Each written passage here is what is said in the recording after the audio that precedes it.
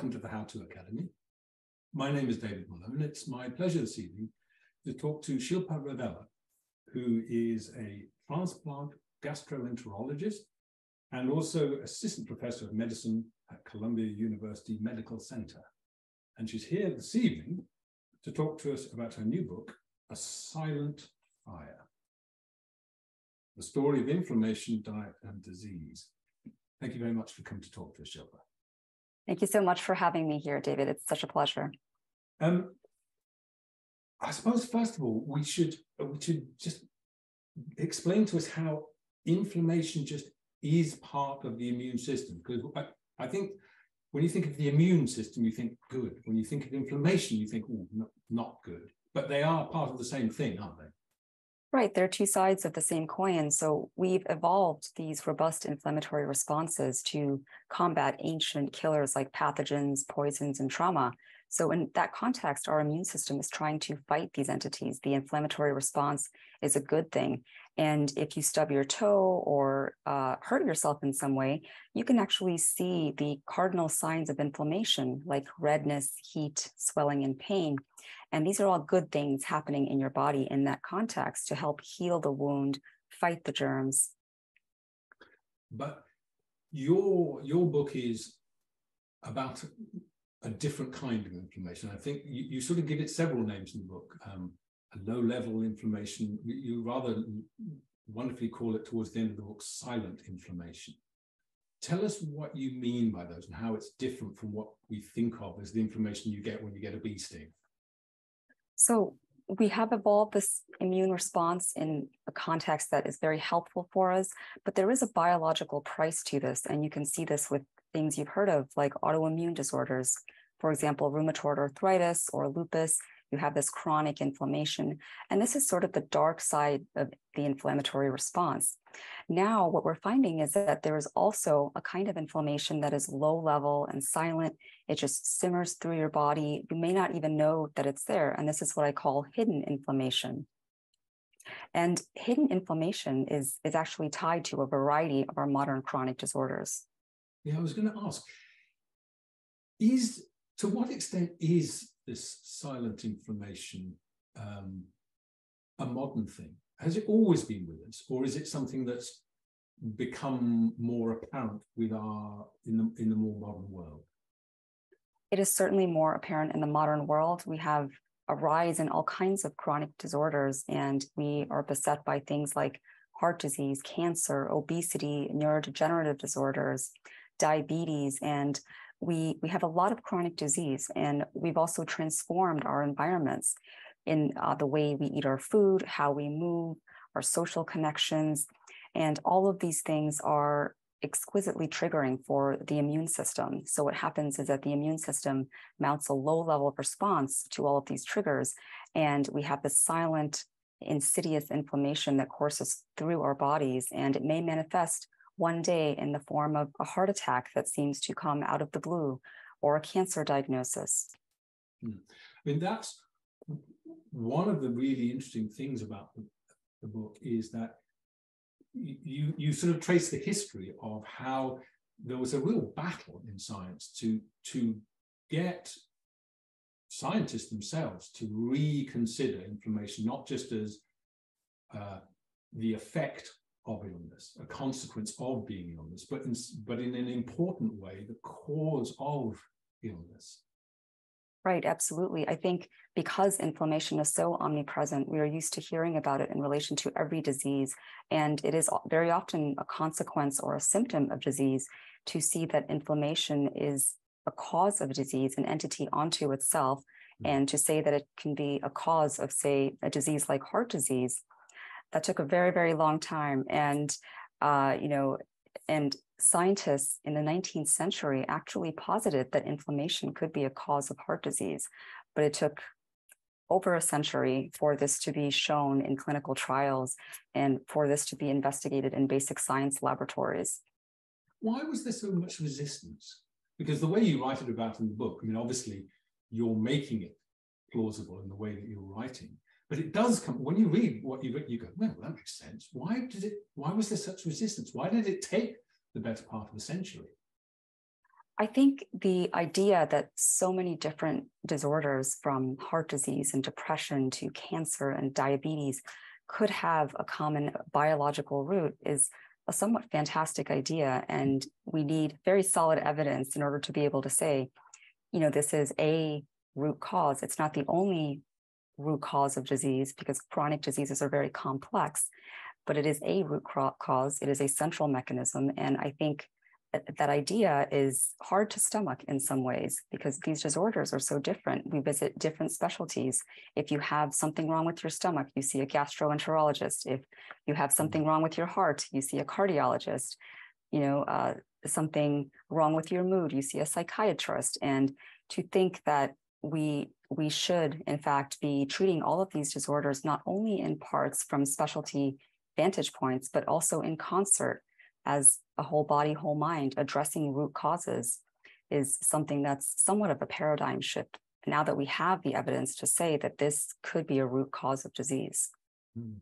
Was there also part of it something to do with the sort of the the machine metaphor? It sort of comes up in your discussion about heart disease that the the sort of the not an explicit metaphor, but one that's there in the back of scientists' minds that that it's a matter of plumbing that the arteries are basically like the like the, the copper pipes you have in your house for your for your plumbing, and therefore that they would be passive. So that if something goes wrong, it has to be an outside thing that's doing it. Whereas right. whereas you're talking about the body itself, even well, what might seem like just a pipe, actually being an active participant in what's going on, it could be the cause. Was that part of it? That sort of unhelpful metaphor, do you think? Right. And I think, you know, when I was in medical school, it was very easy to digest the information about heart disease and and it was very intuitive to think of cholesterol clogging up arteries and heart disease, or the mechanics of heart disease. But what science has shown us over the years is that inflammation throughout the body can be a risk factor for heart disease. If you think about it, half of all heart attacks are in folks who do not have elevated cholesterol levels. And we mm. know that ele- elevated cholesterol levels are one risk factor for developing heart disease. Uh, but half of those are in folks without that. And so in- inflammation is, as we know now, a risk factor for the causation of heart disease. But that was something that took a while to accept. And we have had large scale clinical trials now confirming this. In 2017, there was the CANTOS trial done by Peter Libby and Paul Ridker at Harvard. And they showed that treating low level inflammation uh, in folks could actually decrease the risk of heart attacks and strokes. And they treated them with an anti inflammatory agent. Mm. So we know now that there is so much more going on in heart disease beyond just the clogged pipes. Uh, the joke back in medical school was that cardiologists are akin to plumbers uh, fixing up the clogged pipes, but we know that it's so much more than that. It's not just about putting stents in and doing invasive things. Uh, it's both. It's also about treating those root causes that uh, you know can can cause in, inflammation body wide. Mm. There's also, I suppose, that when you're talking about treating the inflammation, in some ways that's more preventative. You're, you're, you're, taking actions to stop something going wrong, whereas a lot of, particularly 20th century medicine, has been focused on what we do once it has gone wrong. Exactly. So I think that's one of the big problems today with medicine is that we are trying to address the problem after it's occurred rather than trying to prevent the problem in the first place. And, you know, with changes in diet, with changes in lifestyle, the majority of chronic diseases and death today are indeed preventable from cases of heart disease to cancer to diabetes to obesity, neurodegenerative disorders. So, treating these root causes, treating inflammation, preventing it from occurring in the first place is incredibly important. So, I mean, um, I was, I suppose my, my, father was a diabetic, so I wasn't entirely surprised when you came up with diabetes. But if you if you went back a few decades, for someone to say, well, diabetes is an inflammatory disease, they'd go, wait a minute, what's it got to do with inflammation? It's just it's got to do with sugar. right. But then right. you you know, but then it is surprising when you start saying cancers, and you had some surprising um, statistics and, and evidence to show the role of inflammation in cancer as well. Right. It's it is very surprising, and we know, you know, for example, that inflammation has a potential to disrupt insulin signaling. So cells that are inflamed uh, are not uh, as responsive to insulin, and we know that the immune system and uh, metabolism, and metabolism refers to things like managing energy, uh, converting food into fuel, taking waste out of the body. These two systems were initially seen as totally separate entities, but we know now that they are intertwined and they actually co evolved because defending your body against germs and managing energy uh, are both essential, crucial for survival. Uh, but there are so many different connections between the immune system and the and metabolism now. And we know that inflammation may play a role in the causation of disorders like diabetes. Hmm. And, and I, I was really surprised um, when you started talking about the, the role in mental disorders, because as you say, there was for such a long time the, the notion that there was never any correspondence between what went on in the rest of the body and the brain. The brain was just on the other side of some kind of Berlin Wall, and and you you you make the point that inflammation has its own suite of cells in in the brain as well. Right, exactly. And what happens in the body can affect the brain. We know that today inflammation that happens in the body can actually cross the blood brain barrier and immune cells can actually cross that barrier. Immune cells can signal through the cells that are lining the blood vessels, and they can get into the brain and they can affect mood and cognition. Uh, when nerve cells are inflamed, the connections between them are less adept at learning and storing inflammation information. So we do know that bodily inflammation absolutely affects the brain. And when you look at depression, for example, and you think about it in the context of the sickness behaviors, if you have an illness, if you have the cold or a flu, you really don't want to be around other people. You don't want to eat. You isolate yourself, and the pleasures of life that used to excite you fail to excite you. And these are all behaviors that are very similar to depression. So here you have bodily inflammation that is actually influencing your mood. And we know today from studies that when you have this type of bodily inflammation, it actually affects parts of the brain on brain imaging scans that are involved in mood. Hmm. Okay, so um, will I just be 100% happier and healthier if I just take a magic pill that stops inflammation? Unfortunately, I don't think there's any cure all. That would be great. And, and, this also isn't to say that every single case of depression is caused uh, by inflammation because depression is a very complex disorder, but this is also to say that inflammation is a major player in psychiatric and neurodegenerative disorders today. It would be great if there was a magic pill, uh, but unfortunately, hidden inflammation, silent inflammation, or even overt inflammation, these are all very heterogeneous uh, forces. But is it something that we just want to get rid of? I mean, is it is is, is inflammation just a bit like the appendix? Used to be good when we were living in caves. Now we just want rid of it. Or is there is there an essential part to it even today? Well, we do want some inflammation in the body, and we all have, you know, just by having the massive germs in our gut, we elicit some amount of inflammation, and we absolutely need some inflammation in the body in order to be able to defend against germs, to fight poisons, to fight traumas, uh, heal wounds, and things like that. So we we definitely do need some inflammation. So the question is one of balance. We want inflammation to come into our bodies, do its job, uh, fight those germs, and then die down as it should. We don't want the inflammation to turn chronic and low level, simmering in our bodies. Hmm. I mean, in some ways, um, I've never read a book where the the sort of the central character was called macrophage, hmm. but but this character macrophage pretty much is the star of your book. I mean, sometimes he's good and sometimes he's a villain. Um, in some ways, it's, it's, it, it strikes me like a police force. You need them for clearing up troublemakers, but the problem is sometimes they go rogue. Right, absolutely. Um, and that's a great analogy, you know, and I did focus on the macrophage as a central character in part also because when you look at the interactions between food and germs, uh, lifestyle and the immune system and inflammation, you find that in chronic inflammation, uh, the macrophage is one of the major players in that type of inflammation.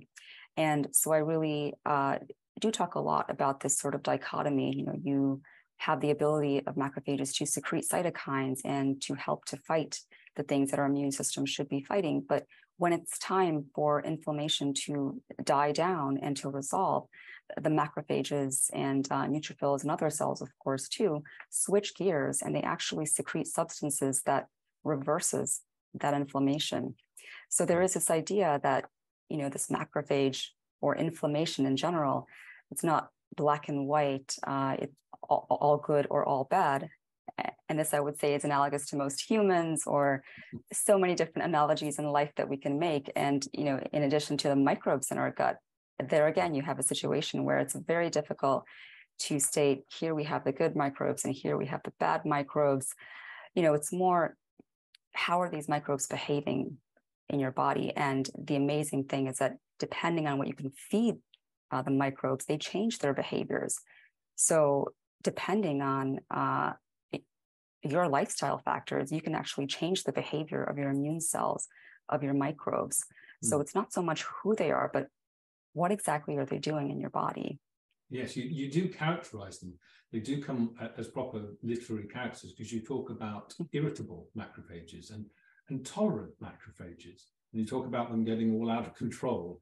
Um, and a lot of these are, as you say, to do with the signals which they're getting from what we're eating and um, and other things, you know, any germs that we're coming in contact with. But tell us, uh, uh, uh it, it's quite useful to get this uh, this notion of why a tolerant macrophage, a nice quiet one, how does it turn into an angry and irritable one? And why did you choose those terms? Because it's sort of key to what you suggest is the, the, the right kind of therapy, isn't it?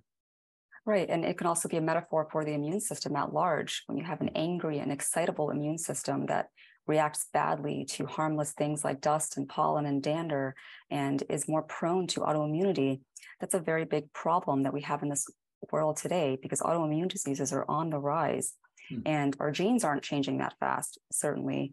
So it's really the environment that's fostering this. And when you think about one of the biggest forces on the immune system, on the development of the immune system, it really is the microbes in your gut, uh, the mass of germs in, inside of your body.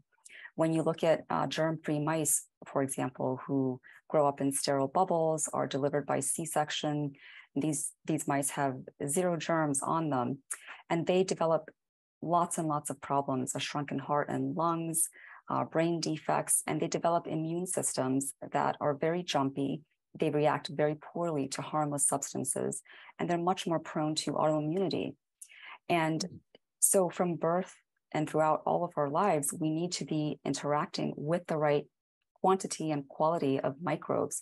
And these microbes help to train immune cells inside of us so these are the microbes that can train the macrophages in your gut to be more tolerant, to be more accepting of harmless food and germs, to learn how to distinguish the harmless foods and germs from their more toxic counterparts. And it's really invaluable for the body. Right. It's a bit like um, a community organization working with the police force. Exactly. Exactly. well,